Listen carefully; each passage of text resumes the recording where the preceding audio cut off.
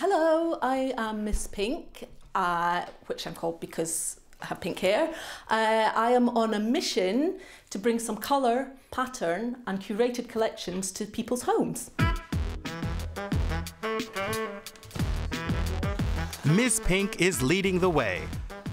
The homemaker from London believes you can never have too much of a good thing. When it comes to decoration, for her, more is more.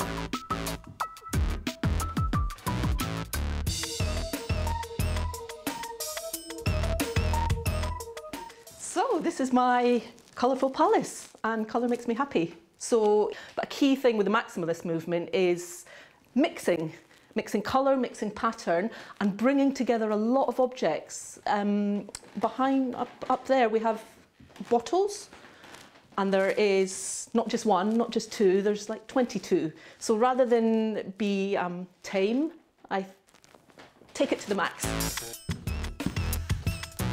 She shows off her ideas for maximalist home decor on social media. The internet plays a big role in spreading this trend. Is me. This is an extension of my mind. Social media, it's a visual tool and people can see your um, ideas and your interior. One person can see it, 2,000 people can see it, people in Russia, people in New Zealand, people in Australia. It's, it's very instant. And Ms. Pink's in good company online. I'm Abigail Ahern. I'm a designer and a retailer, and I am pretty obsessed with interiors, particularly interiors that decorate differently in a very maximalist type way. Also based in London, Ahern's trademarks are dark colors, extravagant accessories, and a wild mix of materials.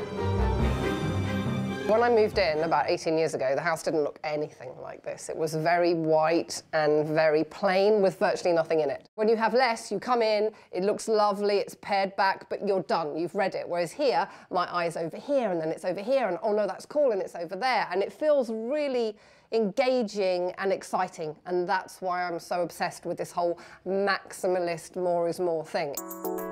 So even if Abigail Ahern's home looks a bit cluttered at first glance, there's a system behind the chaos.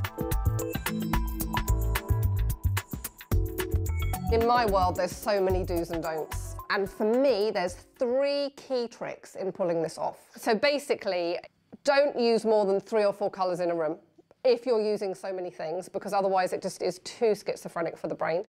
The second component in creating a really maximalist space is playing around with scale, because what I'm trying to make you do is put things that are too big in spaces that are too small. For example, a really big mirror on quite a small wall, or a chandelier that's big, big, big, hung quite low over a table. And the reason that I'm doing this is because I want the space to feel magical. The third component is texture and pattern, so it's kind of three and four, because texture and pattern totally transform a space and make it feel incredibly cocooning. And the real trick with texture, firstly, is that every texture has to oppose the one it's next to.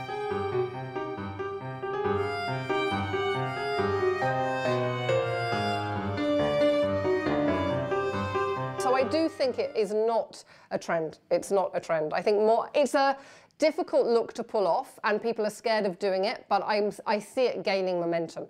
I don't think that you can feel completely happy when you have one table, a few chairs around it, and a load of white paint going on.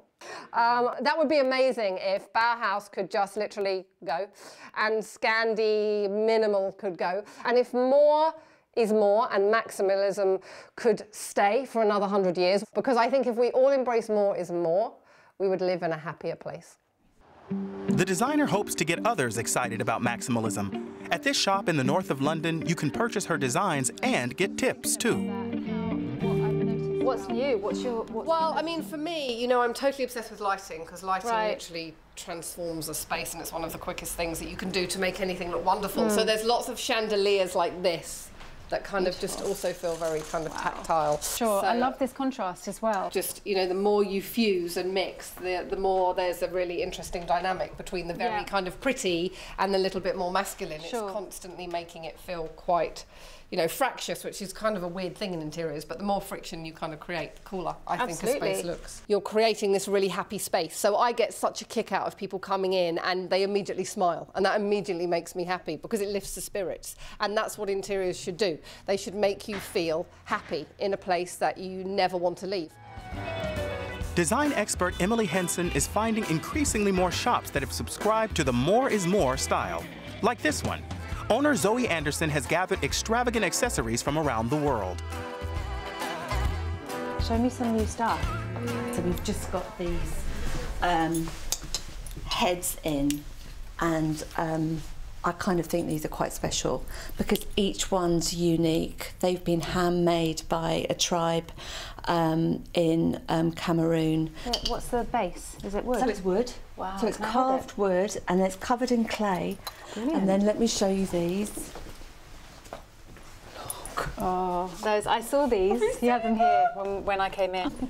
Zoe takes ordinary things and makes them extraordinary. And I think it's about taking those things that we just take for granted as being ordinary, but actually every single thing in your home can be extra, extraordinary.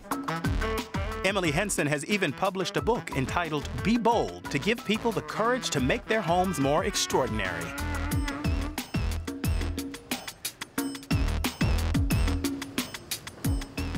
So I had noticed a, a change from neutral, tasteful, almost like Scandinavian style interiors towards more colourful, patternful, bold homes. I think maximalism is about breaking the rules. I don't think it has to be good taste. I think it has to be your taste.